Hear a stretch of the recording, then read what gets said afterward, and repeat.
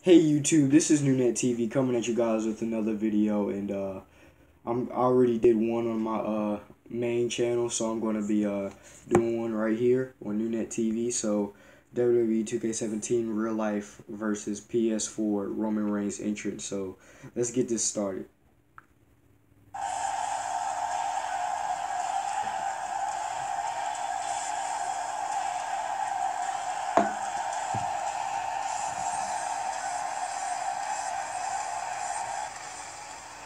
Okay, okay, it's looking real. Oh, hold on. I kind of like that. I like that.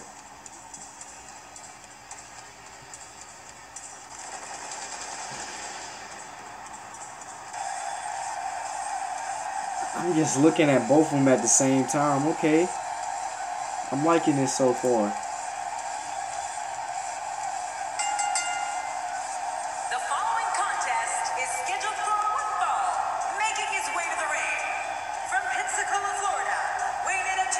They did a better job.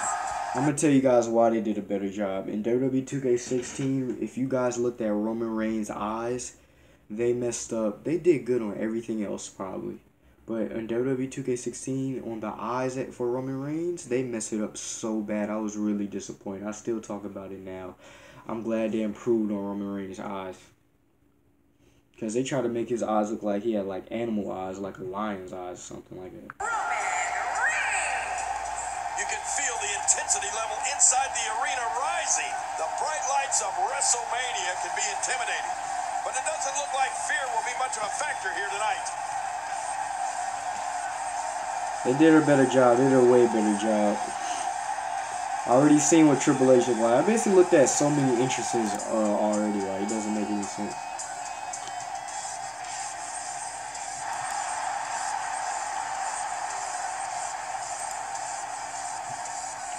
Roman Reigns is the man. During the psych, Roman Reigns could get way better. I know he's gonna. He may not be doing good in his career now, but he's gonna get better. Like I still don't like his uh, gimmick though.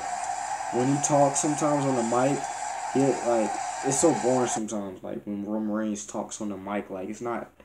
I can't explain it. Like I can't explain it, but it's just Roman Reigns is boring sometimes. All the times, Roman Reigns needs better pro. He needs to do better promos. So that'll basically be it for this video, guys. If you want me to react to more WWE 2K17, let me know in the comment section below. Yeah.